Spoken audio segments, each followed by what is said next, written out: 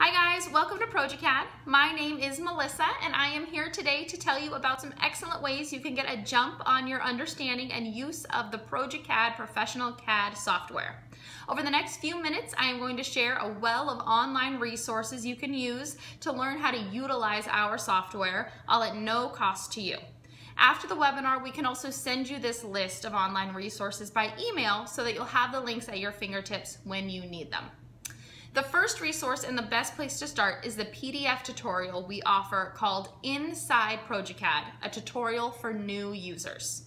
This tutorial will share information about progeCAD, such as how progeCAD differs from AutoCAD. Here's a hint, uh, besides a few features, it's not very different at all.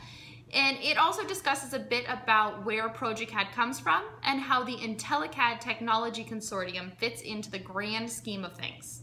It also takes you through a typical project with step-by-step -step instructions. The main link for this book is right over here. This will not only provide you with the mentioned tutorial, but provide links to other resources we are about to mention.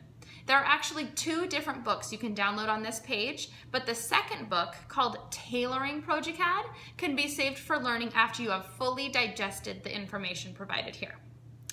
Now, along with the tutorial PDF books, we also provide links to a professional video learning series. These 2D videos provided by World Class CAD, a college training course company, are short, each lasting under five minutes, and they demonstrate the steps needed to complete a typical 2D mechanical project, which is pertinent to all when first learning this complete CAD system. So migrate to the following URL to take advantage of the 2D video learning series. At the same link will be another video learning series for learning how to manipulate your model into a 3D model. This series will teach you how to move through three-dimensional space and manipulate surfaces and solids to create realistic designs that can be fully documented using the tools built into progeCAD. progeCAD provides a free plugin for architecture called EasyArch. The EasyArch plugin offers you architectural primitives such as walls, doors, and windows.